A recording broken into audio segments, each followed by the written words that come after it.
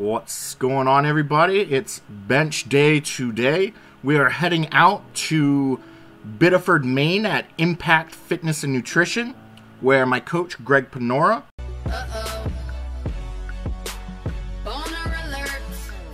will be giving me handoffs for bench. I can't lift off for myself above 90%, so I need to go somewhere to have someone lift off for me. And who better to lift off than my coach? So um, he and his clients have made fun of me because I, I like crawl out of a hole uh, like a like a groundhog every six months to come bench with them. And yeah, so Big Daddy Papa Big Poppy Panora giving the handoff today. Yeah, we'll see how it goes. 605 is the goal. Um, my meet PR is 600, and the highest I've ever hit in peak is 585 and previously before that it was only 540 525 i'm not sure. I don't usually hit a, a pr during peak so we'll see how that goes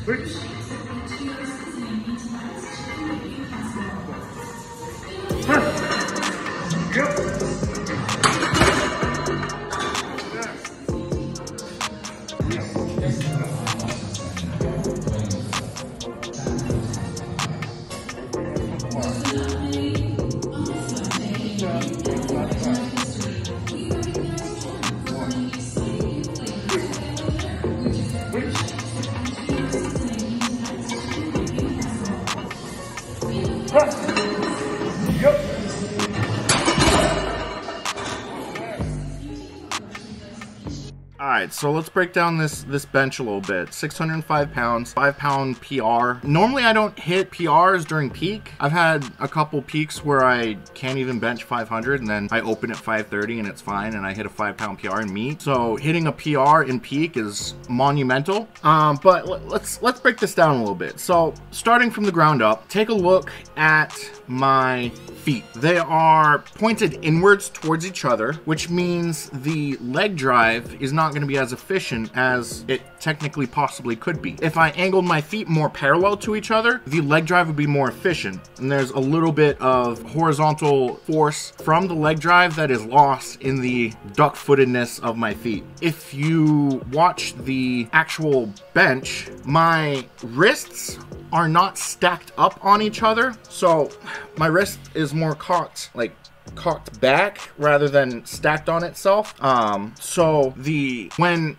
applying an upwards force with my arms and uh, torso, it's it has to go through the lever of the wrist before it actually gets applied to the the bar. So there's a, dis- uh, a dispersion of force acting to cock the the hand a little bit, which is losing uh, newtons of force. Um, the descent is slow.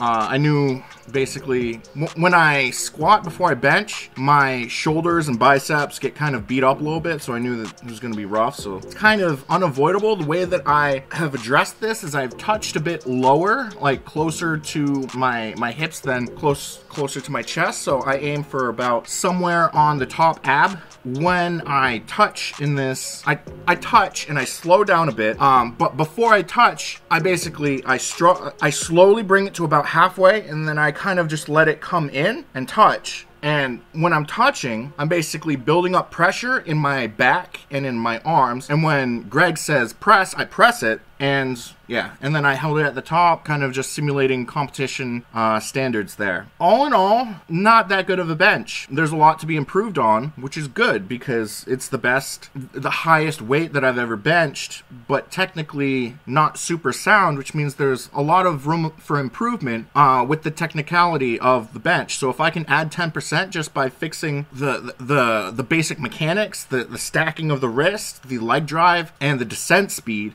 if I can add 10% to the bench, 605 becomes 665, 670. You can almost add a plate with just cleaning up your mechanics a little bit. Yeah, that's about it.